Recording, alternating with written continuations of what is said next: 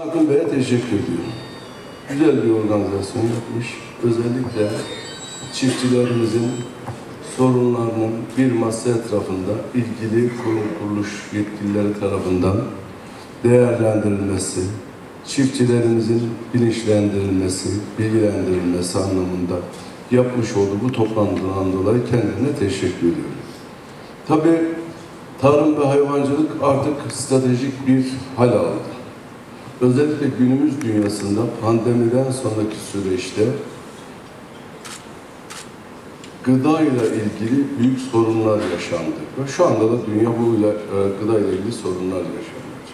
Cumhurbaşkanımızın özellikle Ukrayna'daki tahıl koridorunun aşması, açılması, açtırılması, bir taraftan da gıda bekleyen özellikle üçüncü dünya ülkelerindeki açlıkla karşı karşıya kalan insanlarımıza ve Avrupa'daki insanlarımıza bir hayat suyu olmuştur. Dolayısıyla Türkiye coğrafyası kendi kendine yeten bir coğrafyadır.